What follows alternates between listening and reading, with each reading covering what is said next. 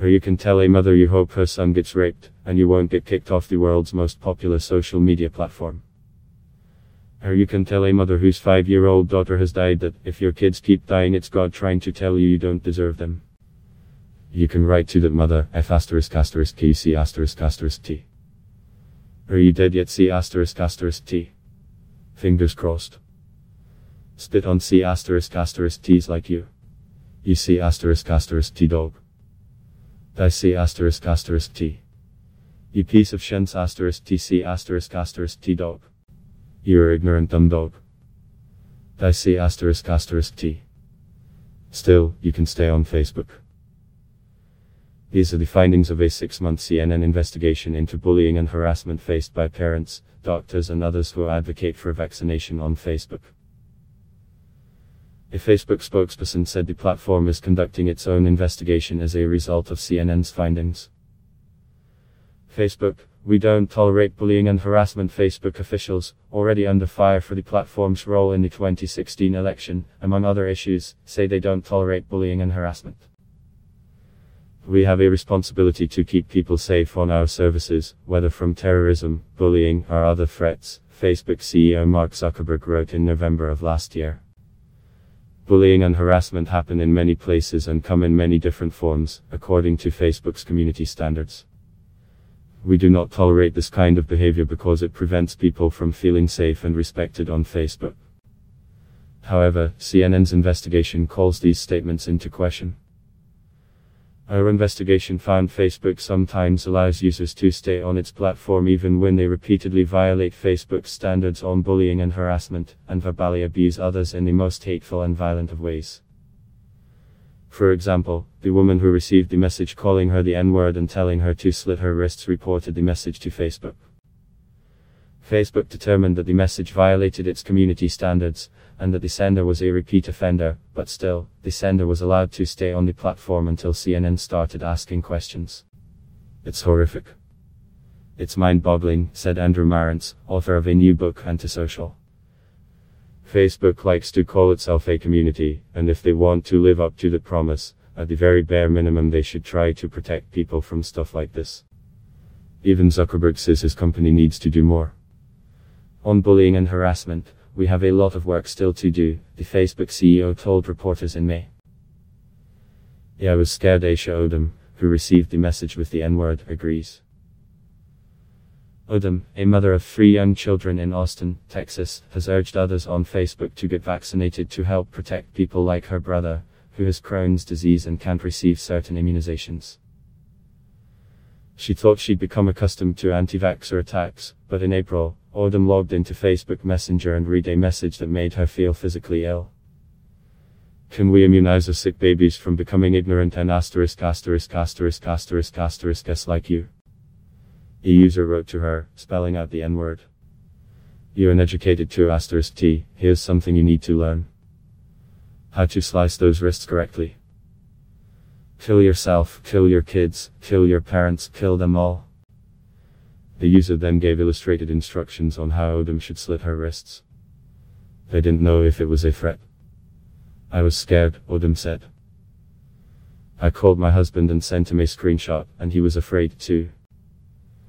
Odom immediately reported the message to Facebook.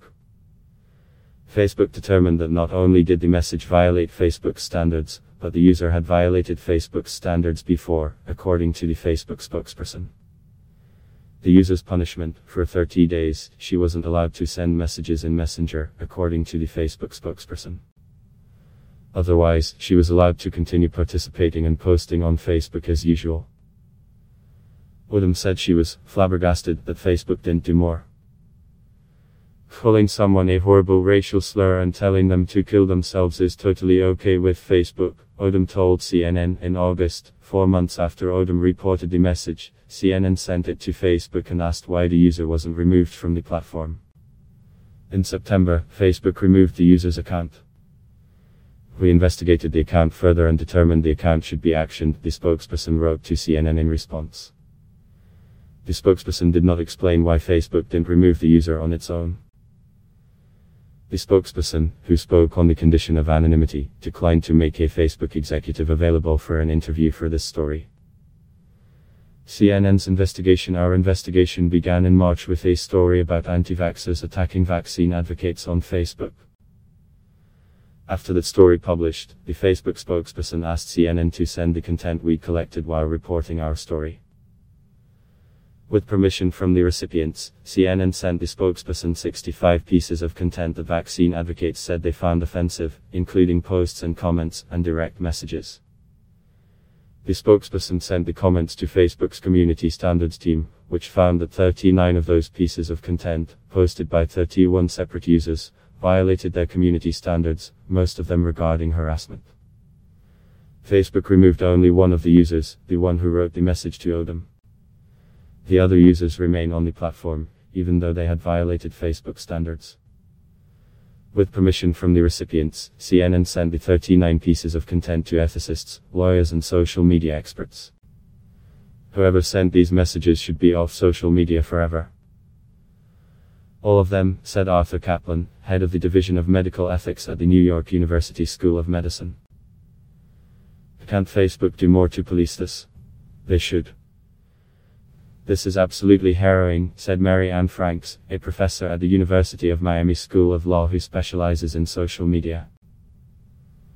Facebook can do much better. Amarantz, the book author, recalled a famous saying from Zuckerberg. Facebook is one of the most profitable companies in the world. They can move fast and break things. Why can't they move fast and repair things? He said. If these don't cross the line of civility, what does? On CNN asked why Facebook removed only one of the 31 users from the platform, the spokesperson gave two answers. First, the spokesperson said Facebook couldn't identify the users, since for the most part CNN sent screenshots of the comments, and not links to them. The spokesperson did not explain how Facebook managed to identify the person who sent the message to Odom, but not any of the other users. The spokesperson also didn't explain why they were unable to identify the users, yet CNN was able to identify most of them, using information from the screenshots such as names, profile photos, place of employment and schools attended. Secondly, the spokesperson noted that Facebook generally does not remove someone for a single infraction of bullying and harassment standards. Instead, it takes multiple violations, or strikes, we don't want people to game the system, so we do not share the specific number of strikes that leads to a temporary block or permanent suspension, according to a Facebook report, enforcing our community standards. The effects of a strike vary depending on the severity of the violation and a person's history on Facebook. In addition to the user who sent the message to Odom, CNN's investigation found at least two users who said they had violated Facebook's standards before and yet were allowed to stay on Facebook. One user told CNN he'd been in Facebook jail seven times, and the other said she'd been similarly penalized on Facebook pretty frequently. When CNN pointed out that these two users were still on Facebook despite what appeared to be multiple strikes, the spokesperson responded that Facebook would launch a more thorough investigation into the users who wrote the violating content. Ethicists questioned why Facebook hadn't removed the users who made some of the most flagrantly abusive comments, particularly ones that encouraged violence. Some of these deserve immediate banning, said Timothy Caulfield, a professor of health law and policy at the University of Alberta in Canada. If these don't cross some line of civility, what does? Caulfield and Caplan, the new ethicist, said it was especially important for Facebook to be tough on abuse by anti vaxxers, since they could intimidate users who post facts about vaccines. They pointed to this year's measles outbreak, the largest in 27 years with more than cases, according to the S Centers for Disease Control Prevention. Experts say measles flourished in large part because of anti vaccine misinformation on social media, particularly Facebook. The vaccine space is exquisitely sensitive in that highly vulnerable lives, newborns, cancer patients, those with immune diseases, are hanging in the balance, Caplan wrote in an email to CNN. Facebook should have no tolerance for a room for anti-vax zealots and kooks. They need to be monitored or if reported, checked and then blocked and banned pronto. Public health must override misinformation and threatening behavior in the domain of vaccines. This year, Facebook took steps to decrease the influence of anti vaccine misinformation. In March, the platform announced it would start lowering the ranking of groups and pages that spread such misinformation in its newsfeed and search options. In September, Facebook announced that educational pop up windows will appear on the social media platforms when a user searches for vaccine related content, visits vaccine related Facebook groups and pages, or taps a vaccine related hashtag on Instagram. The difficulty in detecting bullying in January 2018, Zuckerberg set a challenge for himself fix Facebook. The world feels anxious and divided, and Facebook has a lot of work to do, whether it's protecting our community from abuse and hate, defending against interference by nation states, or making sure that time spent on Facebook is time well spent, Zuckerberg wrote in a Facebook post. My personal challenge for 2018 is to focus on fixing these important issues. We won't prevent all mistakes or abuse, but we currently make too many errors enforcing our policies and preventing misuse of our tools. In a series of community standards enforcement reports, Facebook revealed the results of its efforts. For example, in the first three months of 2019, the social media platform took down 5.4 million pieces of content that violated its standards against child nudity and sexual exploitation of children. In nearly every case, minus 99% of the time, Facebook detected this content on its own without being alerted to it by users but Facebook had much less success detecting bullying and harassment. In the first quarter of 2019, the social media platform took action on 2.6 million pieces of content for violating bullying and harassment standards, but users had to report it 86% of the time, only 14% of the time did Facebook find and flag the content on its own. The problem is that while it's relatively easy for an algorithm to detect nudity, it's much more complicated to detect when someone is being bullied online, since there are subtleties involved in discerning abusive speech from speech that doesn't violate community guidelines. As you get into hate speech and bullying, linguistic nuances get even harder, like understanding when someone is condemning a racial slur as opposed to using it to attack others, Zuckerberg wrote in a note in November of last year. Facebook says since it's hard to detect bullying, they have to rely on users reporting abuse. When it comes to bullying and harassment, context really matters, the spokesperson added. It's hard to tell the difference between a bullying comment and a light-hearted jest without knowing the people involved or the nuance of the situation. So we rely heavily on reports. If you're someone you know is being bullied or harassed, we encourage you to report it. A recent Facebook report came to the same conclusion. In areas like bullying and harassment, where context is so vital to understanding if content violates our policy, we expect that for the foreseeable future, our automated systems will not have the ability to detect this content at a scale similar to other policy violations, according to Facebook's transparency report. In many instances, we need a person to report this behavior to us before we can identify or remove it. Last year, Guy Rosen, Facebook's vice president for product management, said the platform is trying to improve. We are determined to improve our understanding of these types of abuses so we can get better at proactively detecting them, Rosen wrote. Overall, we know we have a lot more work to do when it comes to preventing abuse on Facebook. Machine learning and artificial intelligence will continue to help us detect and remove bad content. Relying on mourning mothers while Facebook urges users to report abusive posts, Catherine Hughes says she simply couldn't. She was too busy mourning the death of her baby.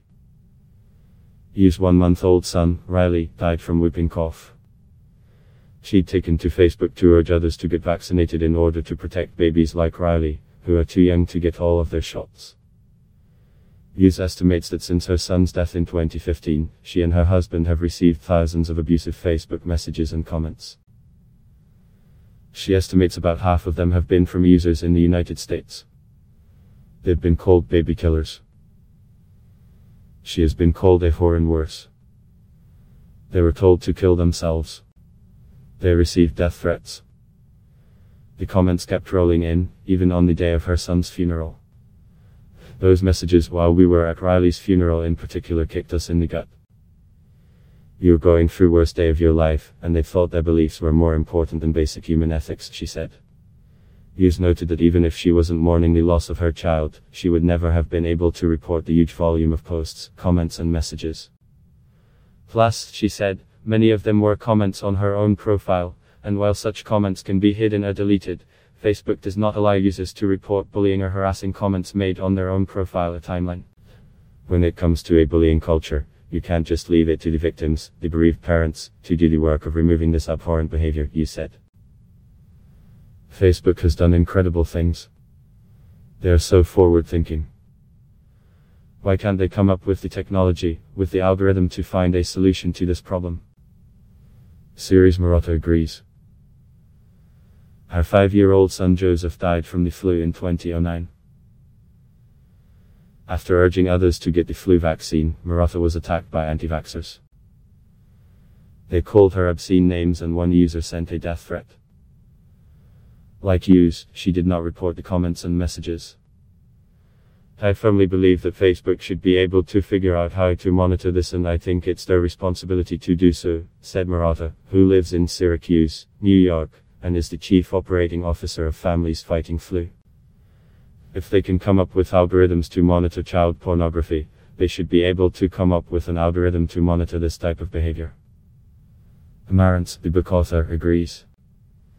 If these people are supposed to be the best computer engineers in the whole world and they can't write a program that flags a comment that tells someone to kill herself and calls her the N-word, that seems implausible to me, he said. Amarantz said since the platform uses data crunching and algorithms to target ads to users, they should use those same tools to protect users, instead of relying on users to report when they're being bullied. It really takes a lot of chutzpah and victim blaming to assert that the onus has to be on the victims, he said.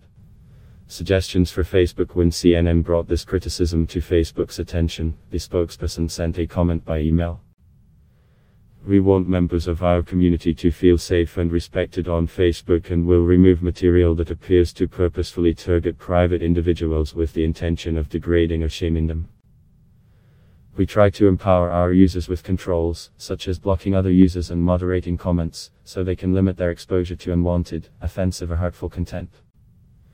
We also encourage people to report bullying behavior on our platform, so we can review the content and take proper action, the spokesperson wrote.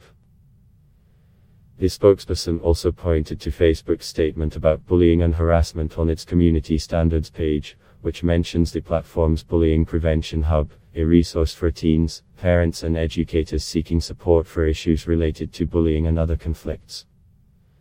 A year ago, Facebook introduced new tools and programs so people can better control unwanted, offensive, or hurtful experiences on Facebook, including the ability to report when a friend or family member is possibly being bullied or harassed.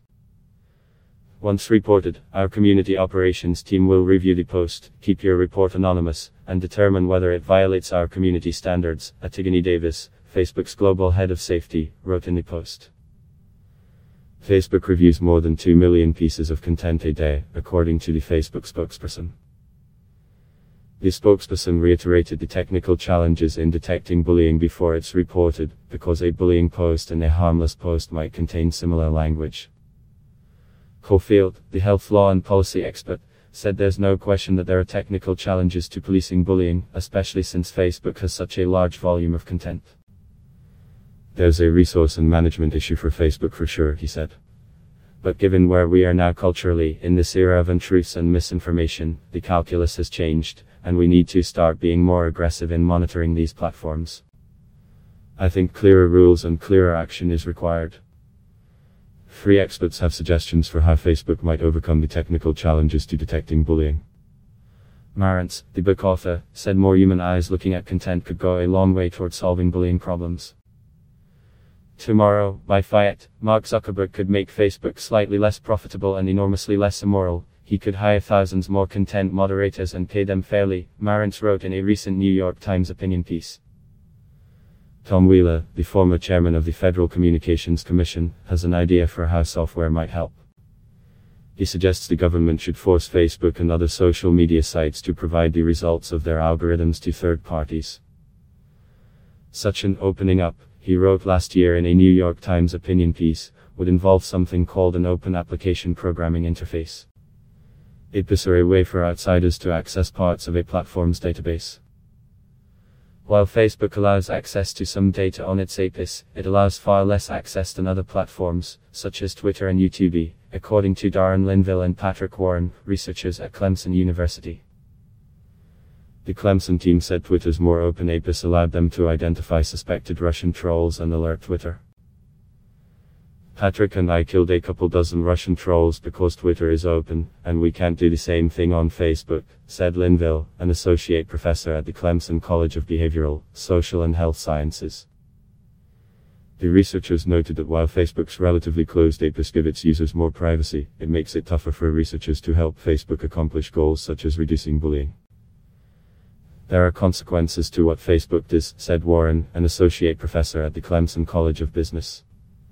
There are negative public interest consequences. Wheeler, now a visiting fellow at the Brookings Institution and senior fellow at the Harvard Kennedy School, said if Facebook were forced to open the results of its algorithms, outsiders could then do their own research on bullying on the platform. That way you could design your own algorithm to say, yeah, want to look up use of the N word, or whatever it is you want to look up, Wheeler told CNN.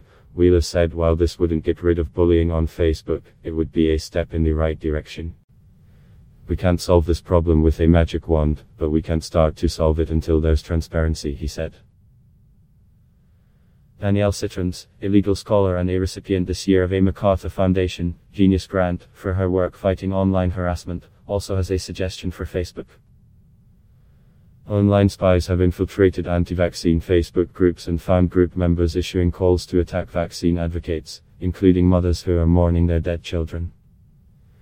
The result is waves of harassment, with dozens of comments or more coming in all at once, according to victims. I call these cyber mobs. It's death by a thousand cuts. It's like a thousand bee stings, Citron said. Citron said Facebook should come up with a way to report the mob instead of having to report each individual piece of content. Facebook needs to view the cybermob as a real phenomenon, she said. There should be a way where users can let them know this storm is happening, where they can say, You see my page, a cybermob has descended. A. Citrons, a professor at Boston University School of Law who has been an unpaid advisor to Facebook, said Facebook has come a long way in the past decade on bullying and harassment issues. They don't get everything right, but they're trying, she said. But she said Facebook faces an inherent conflict in policing itself. They don't want to deplatform people. They want their business, she said. Citron said Facebook needs to remember that it loses business if abused victims are scared off the platform. It's not good for people to be terrified and chased offline, she said. Marotta, the vaccine advocate whose five year old son died of the flu, said she hasn't been scared off Facebook, but she's talked to many parents who've received violent threats and they're terrified. Obviously, we have freedom of speech in this country, but when you're talking about causing harm to another individual, I don't think that should be allowed, she said. CNN's John Bonifield, Manali Nigam, and Kristen Rogers contributed to this report.